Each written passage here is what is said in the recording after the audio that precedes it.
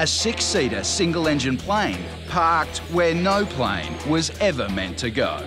The plane crashed a few minutes after takeoff, so its fuel tanks are still full. Fireys advise that there has been a fuel spill and you can smell fuel in the area. They've deemed the area safe now so we can go in and have a look.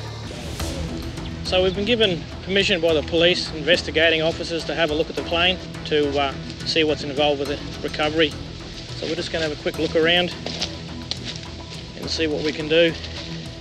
You don't see a lot of planes. We do see the odd one, but the wings are going to have to be removed obviously to transport on the public roads.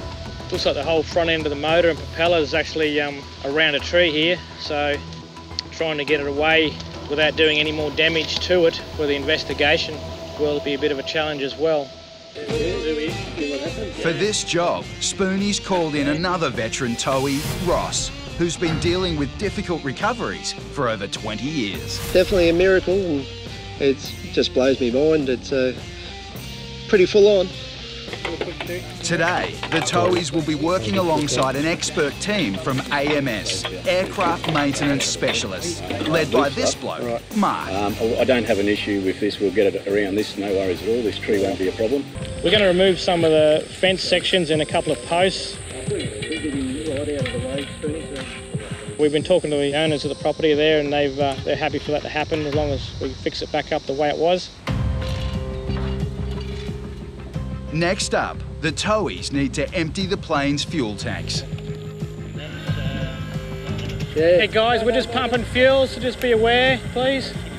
As usual, the Clayton's team has come prepared with a portable pump and 44 gallon drums. Out on the street, the cavalry's arrived. Claytons have over 150 vehicles in their fleet and they take pride in having the right machine for any job. Today, Spoonie's called for the 12-ton Manitou telehandler, which is small enough to get into the backyard, but also strong enough to lift out the 1.2-ton plane.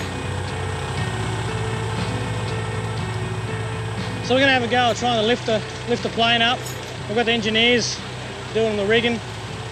They work and work on these planes and dismantle them and put them back together and resurface them. If we come a little bit here, it might rotate off the tree. Now that the propeller's off the ground, the AMS engineers can safely remove it. I think you're sucking in it a bit. When we lift this plane, we've got to spin it around a bit, do some manoeuvring. So we've got some ropes attached to the basically four corners of the plane, the two wings, the front and rear. So I'm just sucking in. Just keep it going while I can. Yeah, he's going around. He's going around. This is tricky stuff. One wrong move on the controls and Ross could stack the plane into a house. Watch that house over it.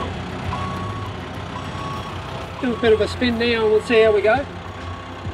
The hardest part is actually getting these blokes to rotate the right direction at the right time, you know, but we don't want it to swing around and hit the house uh, after it's just come in at 150 k's an hour and miss the house. We don't want to hit it now, do we?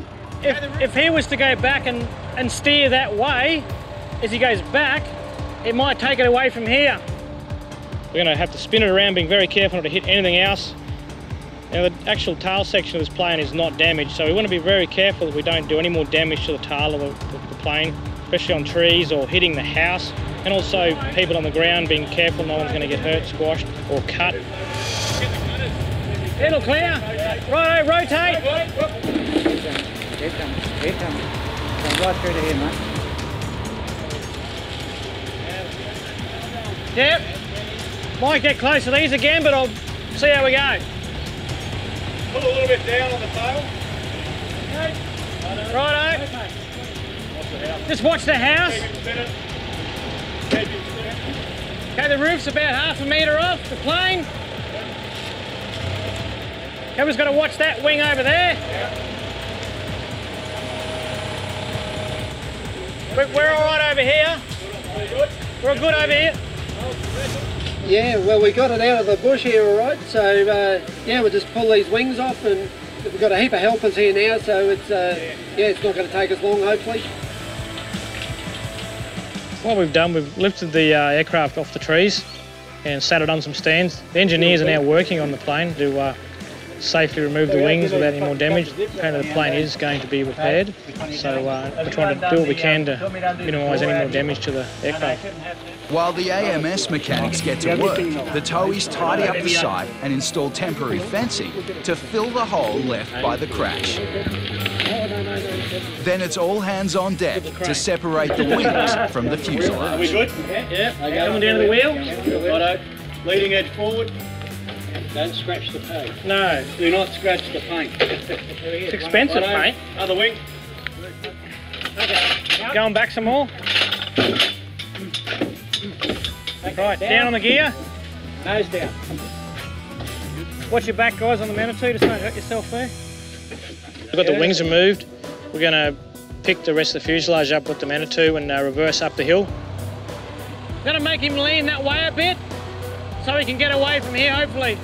You can see that we're in a bit of a tight spot here. At the driveway, you can see it's overhanging with trees and it's a bit of a tight fit.